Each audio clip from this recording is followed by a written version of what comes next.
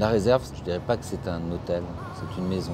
On est euh, d'une taille euh, petite pour pouvoir euh, s'occuper de chaque client. On travaille sur la qualité et non sur la quantité.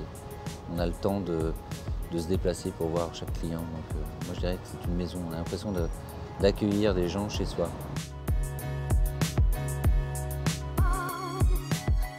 Alors la pagode de Cosse, on l'a ouvert novembre 2016. Il n'y a pas vraiment de thématique euh, propre, c'est euh, voilà, faut qu'on voyage sur les épices, sur les produits, sur les recettes. là, on est plus axé sur une cuisine un peu plus féminine, les petits plats qui arrivent, donc on les met en gazpacho. On travaille sur l'Asie un petit peu aussi avec euh, les gambas. on travaille aussi sur l'Amérique du Sud avec le crabe qu'on mélange avec une polenta et qu'on fait frire et qu'on sert avec une sauce un peu barbecue maison.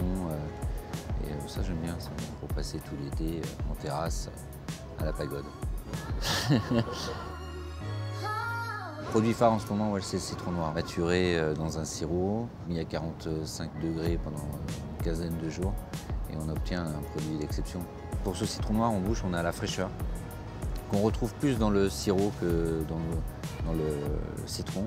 Le citron il est complètement déstructuré, donc il n'y a plus cette écorce euh, et cet intérieur avec l'acidité. On retrouve quelque chose complètement amer, mais voilà, je, sais déjà que ce sera sur un poisson cru. Je sais aussi qu'il y aura un, bar pour le Gabriel où on va travailler dessus. Voilà, donc ça sera déjà pas mal.